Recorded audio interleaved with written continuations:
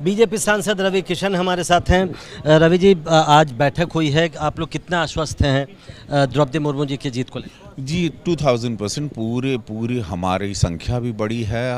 देश की भी 135 करोड़ की विचारधारा भी हम लोगों के साथ है। सब लोग सहमत हैं और हम लोग पूरी तरह निश्चिंत हैं कि भारतीय जनता पार्टी, द्रौपदी जी, धनखड़ जी भी ये दोनों दोनों हमारे यशस्वी प्रधानमंत्री संगठन द्वारा चुने हुए नाम जर- ज़रूर जीतेंगे। लेकिन अब से कुछ देर पहले यशवंत सिन्हा ने एक अपील जारी किया सांसदों विधायकों से कि अंतरात्मा की आवाज़ पर वोट दें और उन्हें वोट दें। और सारे सांसदों की जो अंतरात्मा हम चूँकि अभी पाँच छः सौ सांसदों के साथ थे और उनकी अंतरात्मा की आवाज़ यही थी कि यशवंत सिन्हा तो कभी नहीं।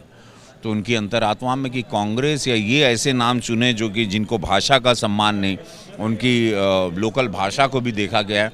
तो यशवंत सिन्हा ब- कुछ भी अपनी मांग करें, लेकिन जो इतने सांसदों की जो फौज है, जो अपनी जनता को, गरीबों की जनता को, भारत की भारतीय जनता पार्टी के सांसद बने हैं, या हमारे एनडीए सरकार में जो गठित हमारे गठबंधन में, उनकी सबकी सोच यही है कि नहीं, यशवंत सिन्हा तो कभी नहीं। राहुल गांधी जी, राहुल गांधी जी ने ट्वीट किया है और मोदी सरकार को तानाशाह सरकार बताया है और कहा है कि किसी की आवाज़ नहीं सुनती, मोदी सरकार और अपने मन की करती।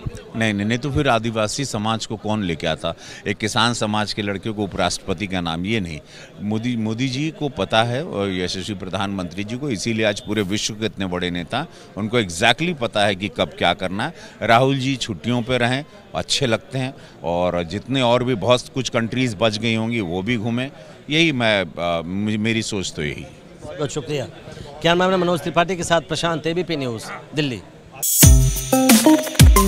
you.